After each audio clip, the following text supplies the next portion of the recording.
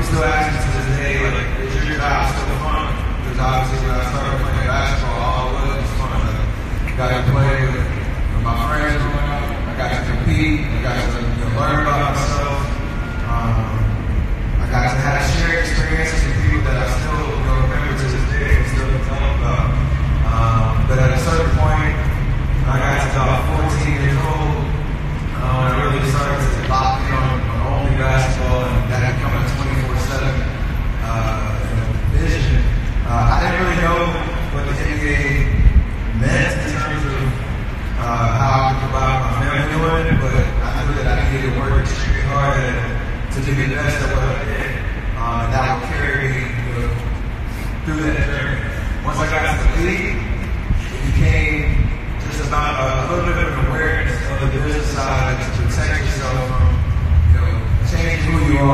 interested your uh, your perspective about why you do what you do. Obviously, you want to be able to you know provide for your family, provide for yourself, uh, you know, set up financial security throughout you know, your life. But uh, at the root of it, when you wake up every morning, do you, you know do you want to do what you love or what you enjoy?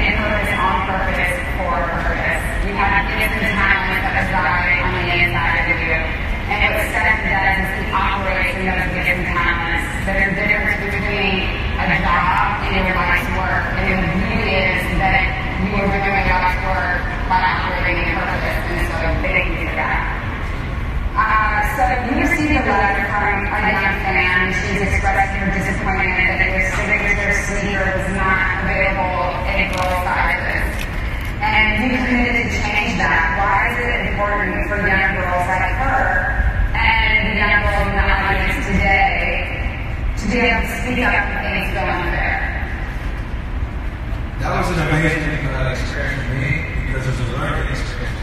Uh, I've been blessed to have a relationship with and to myself I get to create and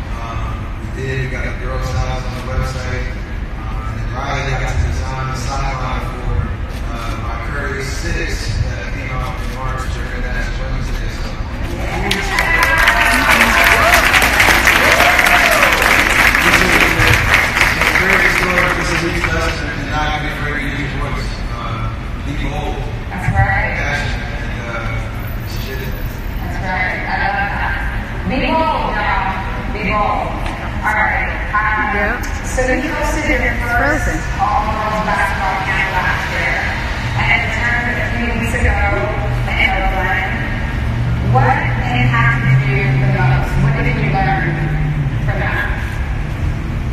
I learned, uh, well, first off, I have a group of trainers that they train me. Uh, they the guys and girls that put together Zoom in again. from you know, a coach's standpoint It had whatnot. All the feedback I got from the girls' camp, like, you need to have one of these every week because the girls' camp way better than boys' camp. Woo! Sorry. They work hard. Um, they follow directions in terms of like, this is what we're going to do, this is what we're going to accomplish, and they're ready, they're energetic, and it seems like they appreciate the moment. And uh, like that feedback says a lot just in terms of, uh, for me, I want to go to the game of basketball, not just you know, young boys, but also young girls in terms of talent everywhere. And for us to, to know that sports in general, you learn so much about yourself through that process. Professional basketball earn a living, uh, you know, playing sport, but they can teach you a lot about you know, those principles that are carry to any industry, any profession, any purpose or passion that you pursue in life. Um, and that was my experience, you're a boy girl, uh, growing up, dreaming about you know, playing basketball at the highest level or using sports to be a gateway to, to other opportunities. Um, that opportunity at the, at the ground level should be there for everybody. So I've had a, a great experience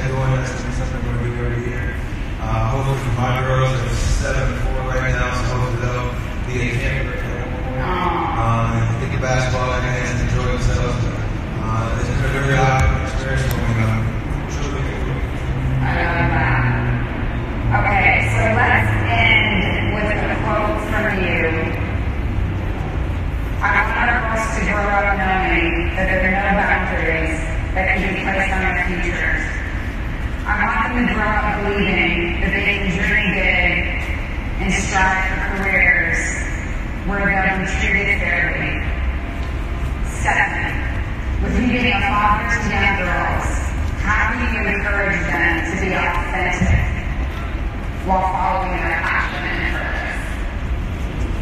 I think it's just a,